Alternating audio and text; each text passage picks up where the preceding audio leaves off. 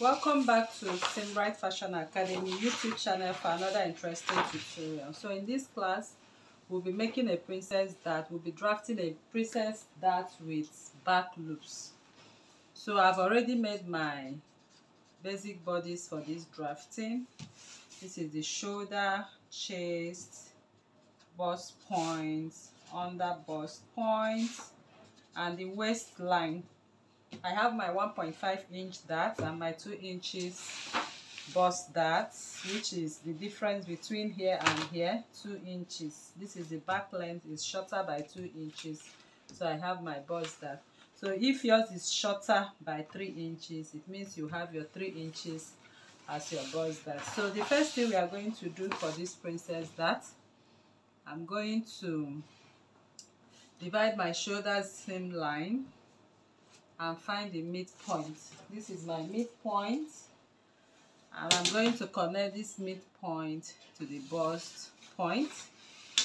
So once that is done, I'm going to tighten my under bust. So this is my center front and in tightening my under bust, I'll place my tape on the center front there I'm going to take my under bust circumference around my under bust divide by 4 I have 8.75 here. I have 1.25 left. And I'll put 0.25 that is a quarter here.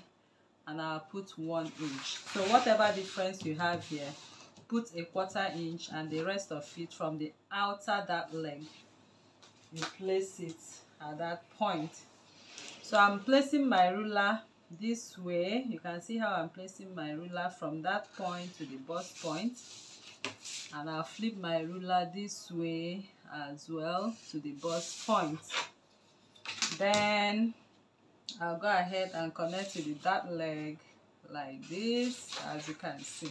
So I've tightened the under bust for my princess dart so from the midline of this princess dart I'm going to come down by 1.5 so I'm going to connect both this midline and my 1.5 to the bust point. So you can see how I placed my ruler making sure it follows the contour line to that line. And I'll flip it this way to that 1.5 once I stop here I'll come out by the same 1.5 so I'll measure 1.5 and then I'm going to connect my 1.5 from here to meet the armhole. So by this we have tightened the uh, the armhole. And we have also tightened the under so now you will be creating the neckline of your choice. So whatever neckline you want to make for this princess that is by choice you can decide to come in here um, by maybe one one inch or by a quarter uh, three quarter of an inch. So this is actually by choice.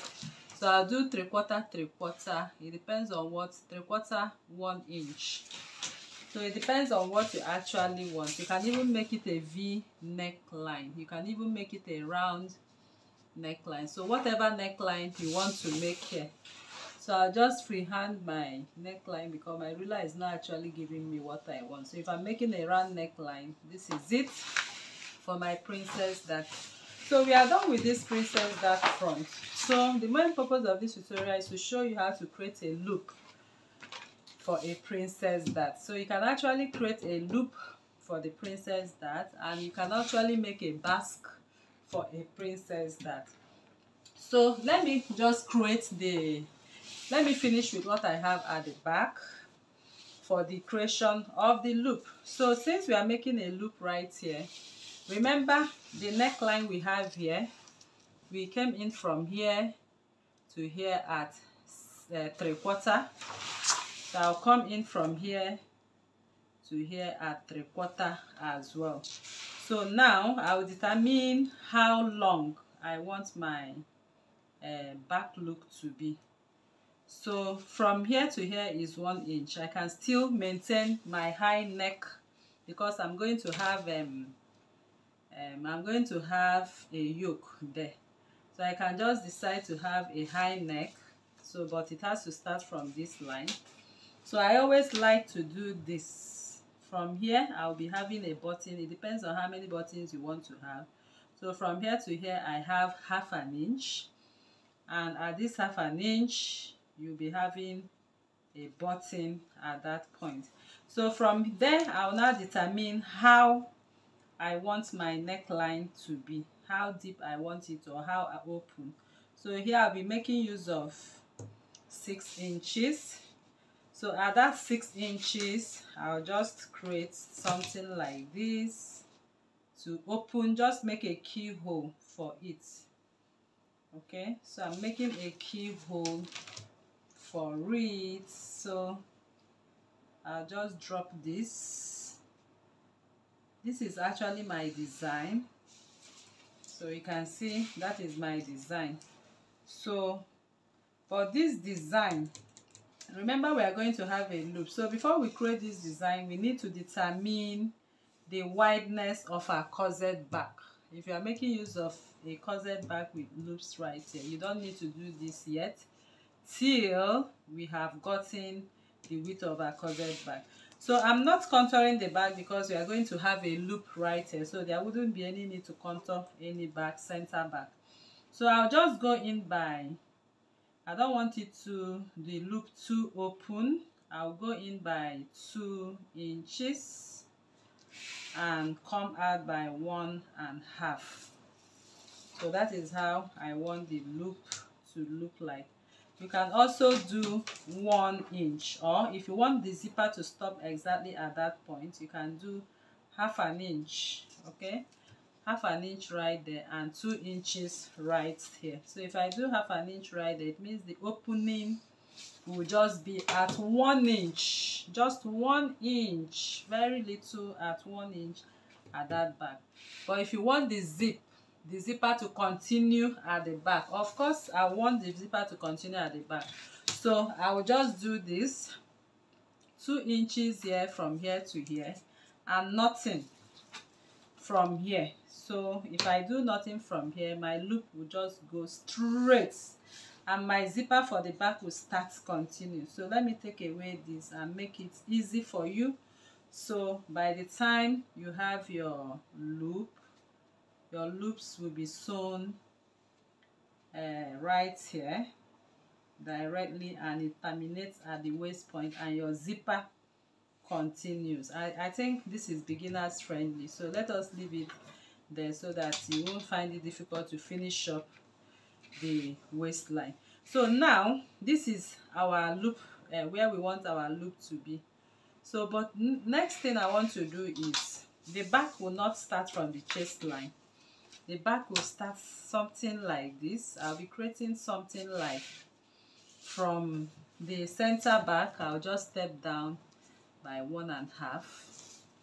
So once I step down by one and half I'll just angle my ruler to create the yoke to this point. And then my back loop will go over there. Can you see that? So that is why I said you don't need to make this line because we here all of this will be open. All of this will be open and we are going to have our lacings this way okay? So our lessons will terminate and the zipper starts so now I'll just go ahead and do this. So it's all by choice now on the kind of yoke we want to create. So I'm, I'm placing my ruler here and I'm going to create my yoke this way. So everything here now becomes my yoke. I believe you understand that. And everything here I will cut it as yoke and this is the bodice so I'll just go ahead right now and draw my line to the dart to touch right there. So what i have here is back one and back two. Note that there's no boning for this dress. This is just a bustier with loop at the back. The only part we'll have boning is going to be on the loop line okay? So we have detailed videos on how to make back loops. So i'll also link the uh, description the video on the description box below. So now i want to cut this back. My that intake is one and a half. And my waist divided by four from the center front is nine inches. So this is nine inches and this is my nine inches of my waist. And this is the one and half inch. So make sure you replace your dart because you are going to cut off this dart immediately. So i'll cut my back pattern for you to see. I'll come here to cut my corset back. So all of this part i'm cutting now we don't need them. Okay? My loop back. Okay that that was what i cut. And from this this is the neckline that corresponds with the front neckline and this is the shoulder. You'll be having your armhole where you are going to attach your sleeve. And then we'll now go this way. So I'll separate the back by cutting off my dart to this point. And I'll cut off my dart to this point. Can you see that so my yoke for the back will be cut at this point. So you can see this is what we have for the back pattern. So I'll set this aside. So normally this is the front pattern and this is a normal princess bag. But since we want it to have a back I'll just add my pepper to it and I'm going to create the back's waistline okay? So this back's V waistline I'll just go ahead and gum my pepper so I'll be able to create this uh, V neckline. So I'll just make an extension from the waistline of 5 inches. So here I measure 5 inches. So I'm going to measure the 5 inches. This is my 5 inches extension for my basque and I'll just connect it to the waistline. Okay so this is the basque now so next is to connect these darts to touch the line and connect this to touch this line. Can you see that? So that is it and that is how to go about the princess dart that has a basque so i'll just go ahead and cut now. I'm cutting by the was that line and i'm going into the princess dart now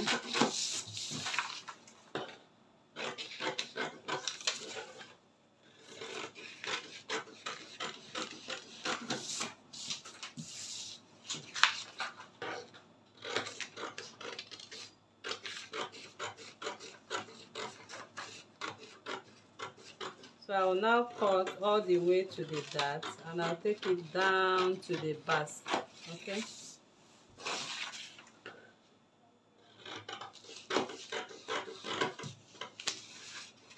And I'm going to cut all the darts for the princess darts.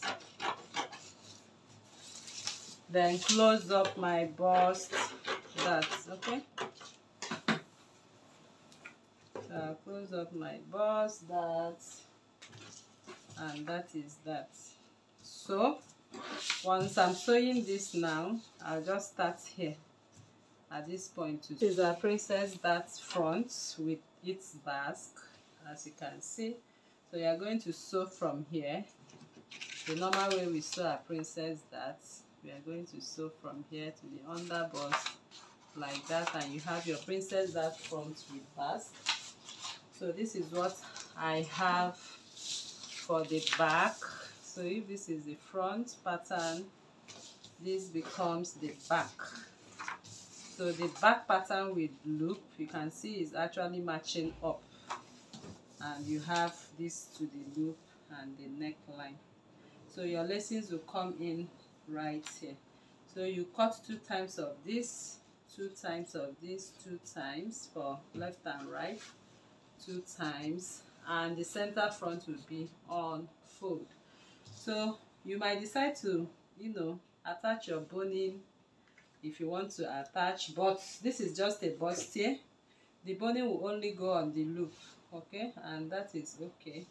And here we have our lacings so i have a detailed video on how to make um, uh, different kinds of lacings uh, back lacings okay? Either with eyelets or with loops. I'll be dropping the link on the description box you know say thank you very much for coming to this tutorial. And if you are new to this channel please kindly subscribe turn on your notification bell to receive videos like this every day. Like this video share to family and friends.